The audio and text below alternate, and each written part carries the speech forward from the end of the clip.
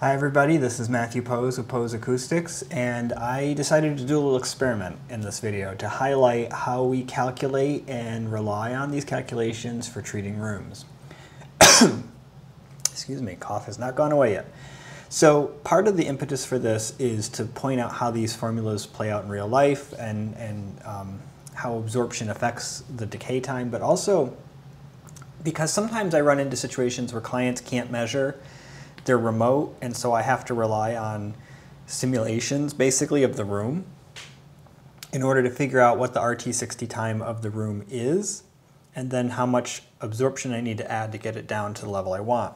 And I think that's a scary proposition because somebody could be looking at spending upwards of fifteen or twenty thousand dollars, even using very basic acoustic absorbers, fifteen hundred, two thousand dollars, relying solely on my word that I know what I'm doing. So this experiment was a way of kind of showing how this works. And I've done this before on a large scale, but I hadn't really done it on a really small scale. And I was kind of curious how it would work if we did that. So it, it actually worked out really well.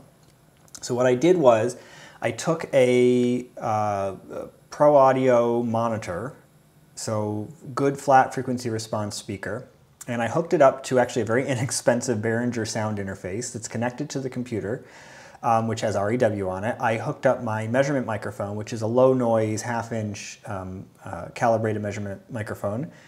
And I uh, took that measurement microphone, connected that also to the Behringer, which for these measurements, I actually have really, really good um, measurement interfaces, including an RME, Babyface 2, but this was sitting right here, it was easy to use, and I just wanted to get this together. But just so you guys know, like these measurement interfaces for this purpose is fine. The difference between this and the RME is noise. That's about it.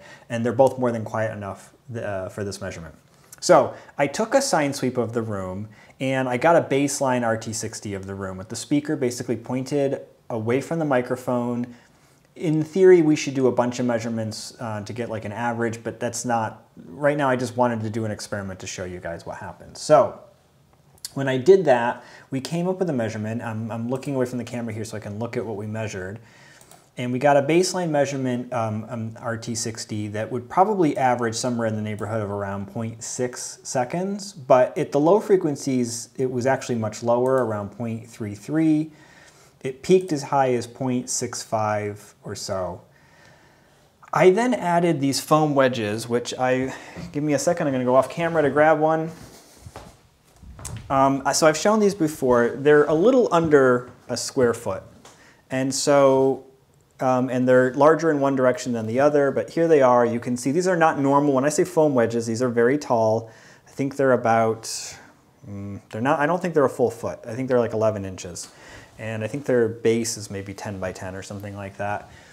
So we're going to call this, it's, it's actually under a Sabin unit. It's about 0.8 Sabin units. The depth, remember the height of this is really reflective more of the low frequency absorption. The area is going to be this.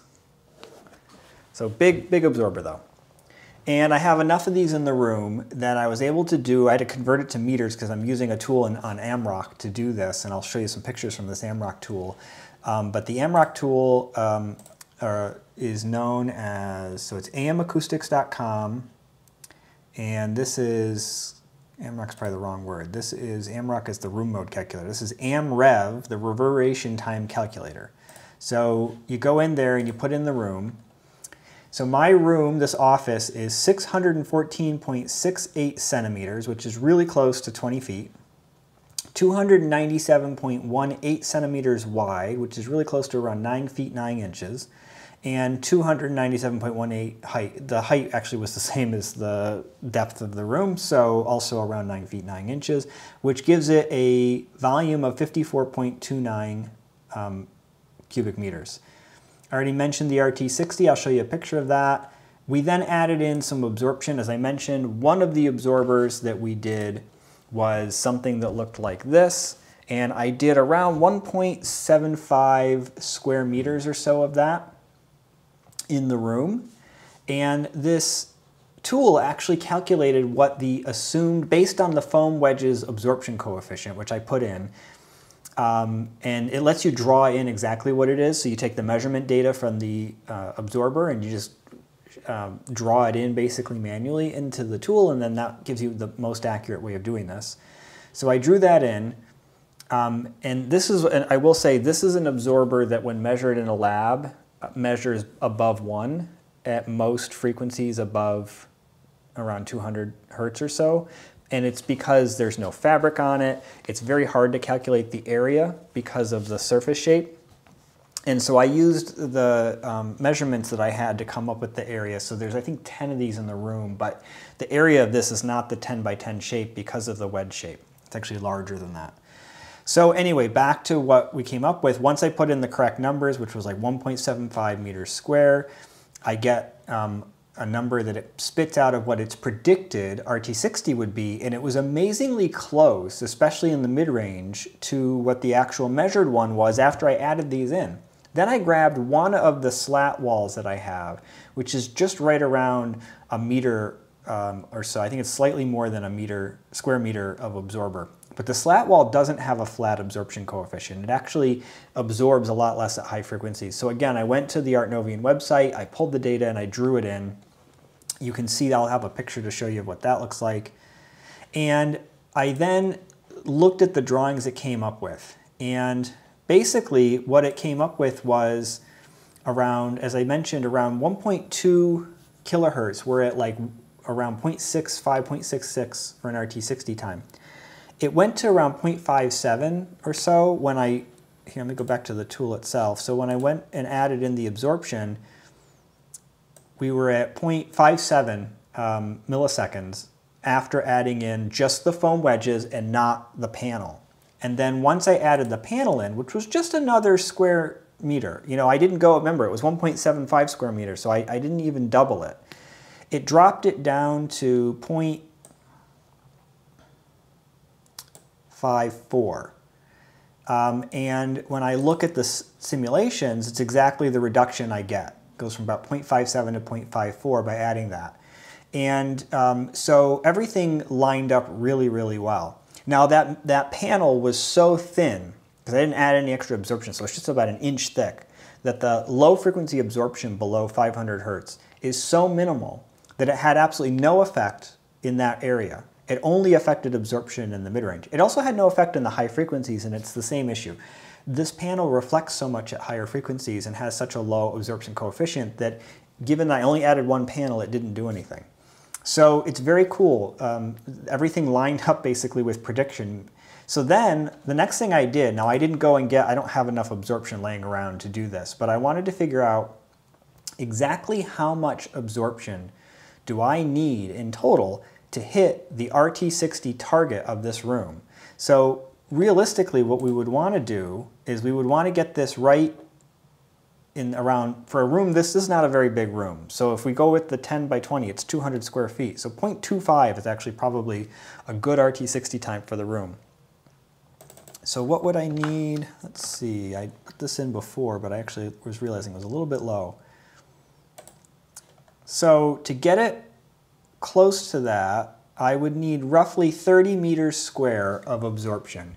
And that's involving a mix of what we're going to call full Sabins, so full absorption units like this, which have a pretty, this because of its depth, this actually absorbs down to like 100 hertz or so because it's so tall.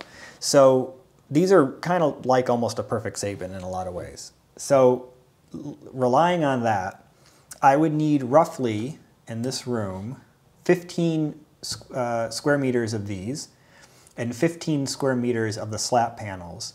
And it would give me a relatively flat, I mean actually just using these would be pretty flat too, but it would give me a relatively flat RT60 time.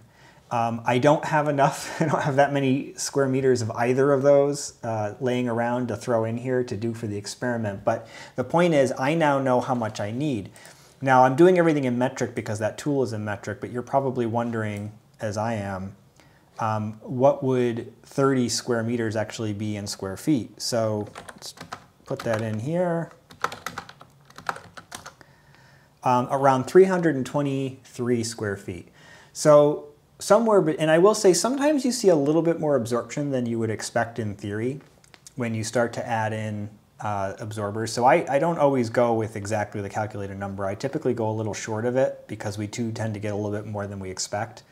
So with that in mind, I'd say 300 square feet of absorption is, is what I probably need um, to get it, and it maybe even can get away with less to hit our target.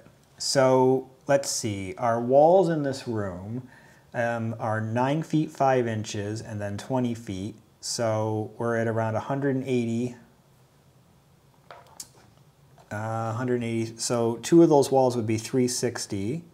And then we also have 36.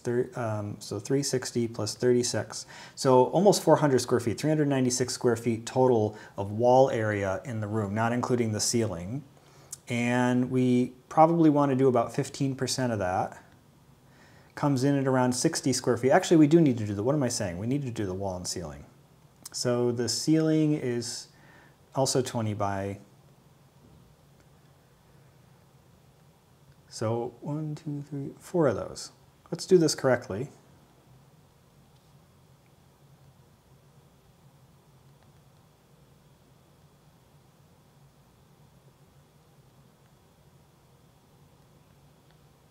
So actually that comes in at around 125 square feet if we use the 15% rule.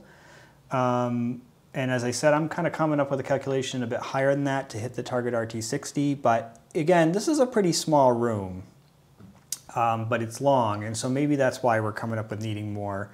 Um, but as I said, we also tend to not need quite as much as we think. So if we use the 15 to 20% rule, we'll probably find that um, we'll, we would have a very good sounding room. We probably would be a little high on the RT60, uh, but it also is really helpful to kind of understand the point.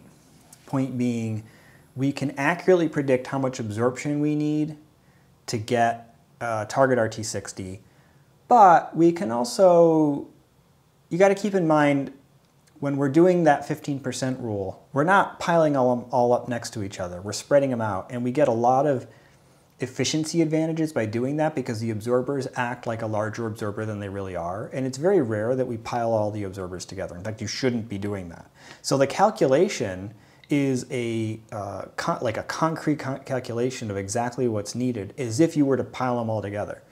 Because we're spreading them out and we're getting some efficiency gains from doing that, where the absorption area tends to act as if it's larger than it really is, we can get away with quite a bit less. So if we start to spread these out, you know, this is all one big absorption unit, but like every, when I did the testing, I spread them all out around the room. And uh, I, in fact, we were seeing, I was seeing some of that. So I had to kind of account for the, what we'll call real Sabin units that I'd added to the room from spreading them out like that. Um, and the same thing would be true if we were treating this room. Even if we did this like a fabric wrapped walls, we wouldn't put behind it 100% absorption. We'd have some panels of, of, reflective surfaces, we'd have some absorption, and we'd have some diffusion. And that ultimately would then lead to something where probably about 125 to 150 square feet of absorption would get us really close to our target. As I said, probably a little high, but it actually would sound very good. Um, if you just want to like figure out how much you need to hit the target no matter what, um, probably, as I said, around, I, I, think 275 to 300 would probably get you really close to that. The, the direct calculation is 323 square feet, but as I said, that's just assuming it's all piled in the middle of the floor, which is not what we would actually do in the room, and so would, we would end up seeing something a little bit different. So point of all this was, did a little experiment, wanted to see how close we got, and we got real close. So hopefully you found this interesting, and uh, subscribe to the channel so you can get more videos, or uh, you know, stay up to date on the videos I do. Thanks.